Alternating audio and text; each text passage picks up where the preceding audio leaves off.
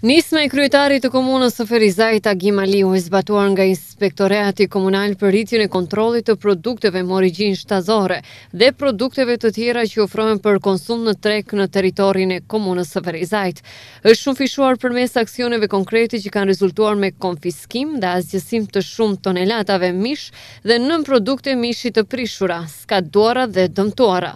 Së fundmi aksioni i Inspektoriatit Komunal ka rezultuar me konfiskimin dhe asgjësimin e afro treqind e pesëdhjetë kilogramë nënprodukte të mishit, të cilat janë zënë gjatë kontrollit rutinor nga ana e policisë në një mjet transportues që po qarkullonte në territorin e Ferizajt, për të cilën është njoftuar Inspektoriati Komunal, të cilët menjëherë kanë dalë në vendngjarje, kanë konstatuar gjendjen duke proceduar me konfiskimin dhe asgjësimin e kësaj sasie produkti.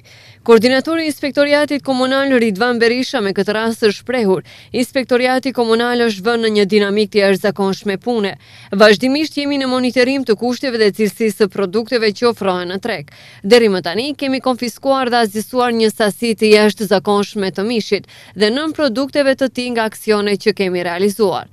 Mbështetja për këto aksione është drejtpërdrejt nga kryetari i komunës Agim Aliu, Dhe ne bashkë edhe me organet e sigurisë dhe të drejtësisë, do t'i shkojmë deri në fund këtij aksioni, u shpreh Berisha. Përkundrazi, me këtë rast dhe rastet e tjera, Inspektoriati Komunal, konform ligjeve në fuqi, ka proceduar këto raste tek organet e drejtësisë, të cilat pas aksioneve komunale janë vënë në veprim për hetimin dhe procedimin penal me rastet e paraqitura.